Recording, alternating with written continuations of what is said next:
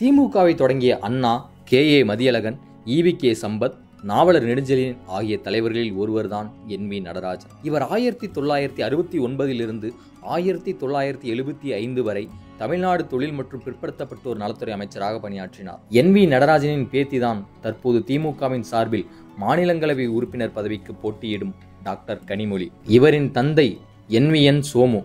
இவர் வடசென்னை மக்களவை தொகுதியில் ஆயிரத்தி தொள்ளாயிரத்தி எண்பத்தி நான்கு மற்றும் ஆயிரத்தி தொள்ளாயிரத்தி தொண்ணூத்தி ஆறாம் ஆண்டுகளில் இரண்டு முறை எம்பியாக தேர்ந்தெடுக்கப்பட்டவர். திராவிட குடும்பத்தை பாரம்பரியமாக கொண்ட கனிமொழி மருத்துவம் படித்துள்ளார். இவர் திமுகவின் மருத்துவர் அணியில் மாநில செயலாளராகவும் திமுகவின் செய்தி தொடர்பாளராகவும் பதவி வகித்து வருகிறார். டாக்டர் கனிமொழியின் குடும்பம் எப்போதும் கலைஞர் கருணாநிதியின் குடும்பத்துக்கு மிக நெருங்கிய நண்பர்களாகவே அன்று முதல் இன்று வரை இருந்து வருகின்றனர். அந்த வகையில் கடந்த இரண்டாயிரத்தி பதினாறாம் ஆண்டு சட்டமன்ற தேர்தலில் தியாகராய நகர் தொகுதியில் போட்டியிட்டு தோல்வியடைந்தார் டாக்டர் கனிமொழி என்விஎன் சோமு. பிறகு இரண்டாயிரத்தி பத்தொன்பதாம் ஆண்டு தமிழ்நாட்டில் நடைபெற்ற சட்டமன்ற இடைத்தேர்தலில் போட்டியிட வாய்ப்பு கேட்டார் கனிமொழி. ஆனால் அதற்கு கட்சி தலைமை சீட் தருவதாக ஒப்புக்கொண்டு பின் வேறு ஒருவரை வடசென்னை மாவட்டத்தில் உள்ள ஒரு தொகுதியில் களம் இறக்கியது. இரண்டாயிரத்தி இருபத்தி ஒன்று சட்டமன்ற பொதுத் தேர்தலில் மீண்டும் தனக்கு வாய்ப்பு வழங்கப்படும் என சீட் கேட்டு எதிர்பார்த்திருந்தார் டாக்டர் கனிமொழி.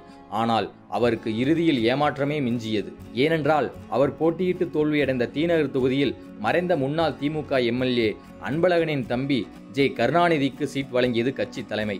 எப்படியாவது சட்டமன்றத்தில் நுழைந்துவிட வேண்டும் என எண்ணிய கனிமொழிக்கு மீண்டும் ஏமாற்றமே கிடைத்தது. இதனால் கட்சி தலைமை மீது மீண்டும் அதிருப்தியானார் கனிமொழி. இது திமுக தலைவரான திரு மு க ஸ்டாலின் அவர்களின் கவனத்திற்கே சென்றது.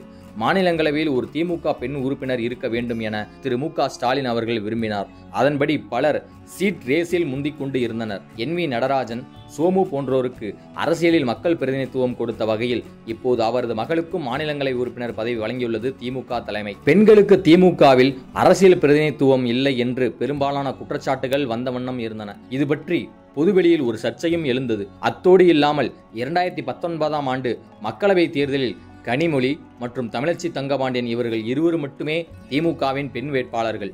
சட்டமன்றத்தில் திமுக சார்பில் போட்டியிட்ட பெண்களின் எண்ணிக்கையும் மிகவும் குறைவு. ஆகவே திரு மு ஸ்டாலின் அவர்கள் இம்முறை ஒரு பெண்ணை மாநிலங்களவைக்கு தேர்வு செய்ய நினைத்தபோது டாக்டர் கனிமொழியை தேர்வு செய்துள்ளார் என்பது குறிப்பிடத்தக்கது. போராடி எம்பி பதவி பெற்ற டாக்டர் கனிமொழி என்பிஎன் சோமு மக்களுக்காக மாநிலங்களவையில் குரல் கொடுத்தால் நல்லதுதான்.